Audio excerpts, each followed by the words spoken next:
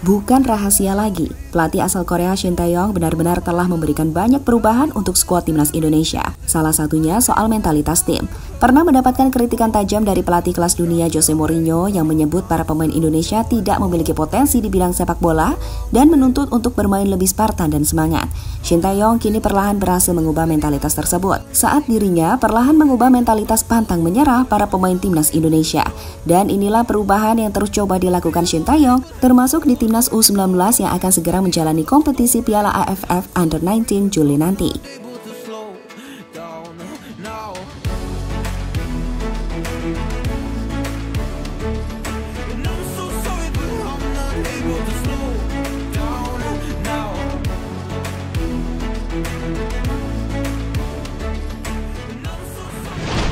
Ya, itulah yang dikatakan Jose Mourinho di tahun 2013 silam.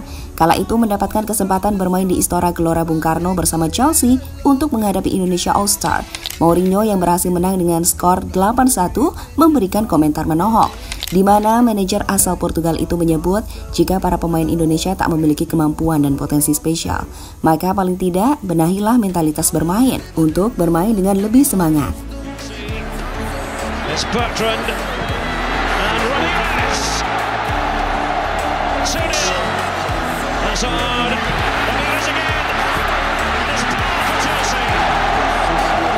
The first half, in Jakarta, Bertrand. And it's another one for Chelsea. And Jose Mourinho celebrates that fact.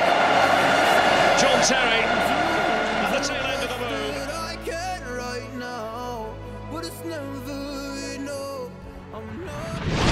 Ya, masalah soal mentalitas itu pun yang sejatinya sulit untuk diubah. Itu pula yang dikatakan Shin Taeyong beberapa waktu lalu. Melihat para pemainnya kembali ke timnya masing-masing usai membela timnas. Shin Taeyong menilai jika mental para pemainnya kembali menurun. Dan itulah yang selalu coba ia tingkatkan di setiap latihan. Seperti yang ia tunjukkan baru-baru ini saat bermain bersama skuad muda timnas U19. Melakukan pemusatan latihan jelang pagelaran Piala AFF kelompok umur, Shin Taeyong yang turun langsung untuk melatih para pemain muda Indonesia ini nampak melakukan sesi latihan dengan sungguh-sungguh. Tak jarang ia memberikan contoh bagaimana cara bergerak dan melakukan passing yang tepat, hingga berteriak di setiap kesempatan untuk membakar mentalitas para pemainnya.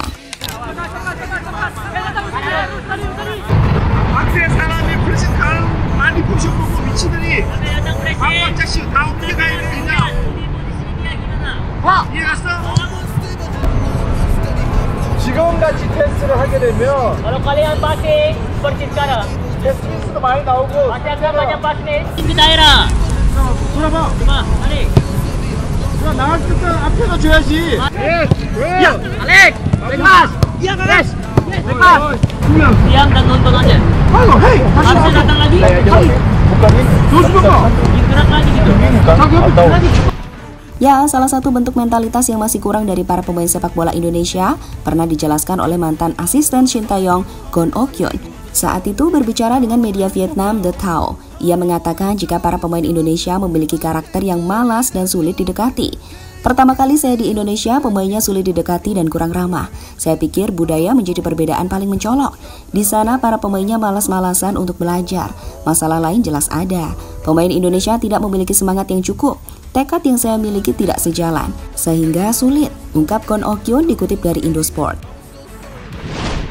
Ya, tapi kini setelah dua setengah tahun melatih Indonesia, perubahan jelas ada para pemain timnas. Hal itulah yang berhasil ditunjukkan Shin Taeyong dalam beberapa kompetisi, mulai dari AFF 2020, ASEAN Games, hingga kualifikasi Piala Asia.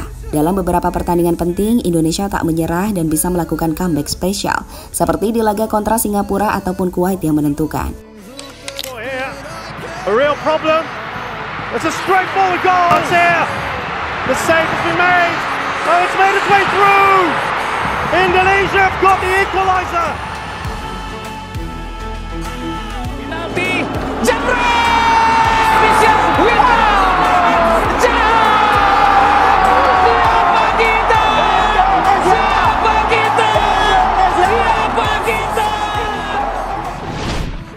Saat ini kembali ke timnas Under 19.